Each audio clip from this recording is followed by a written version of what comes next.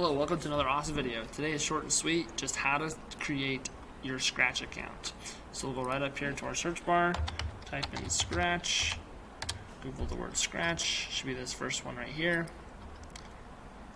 And then we'll go right up here to the top right, click on Join Scratch. I would just use your same username and password um, that you use to log into your computer. So your first three, your last three, and then your number. Then type in your school password. And then you hit next.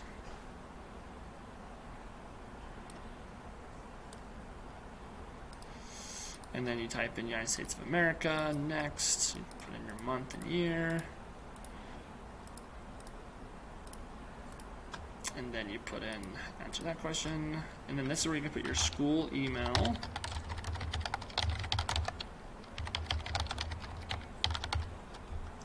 Then you click create account.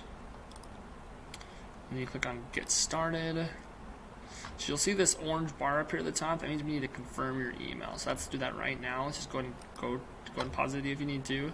Go to your email account, click right here, and then click right here, confirm my account. Once you do that, then you'll be able to turn in your assignment. So make sure you get that done. Then click on OK, let's go. You got an account now, so you can go up here, um, profile, my stuff, account settings. Um, this is just where you find all your things, and you go and watch the next video. Um, if that, if you don't get the email, go right here, and then it should let you resend it. Pass, type in your password, click resend, should be able to resend it.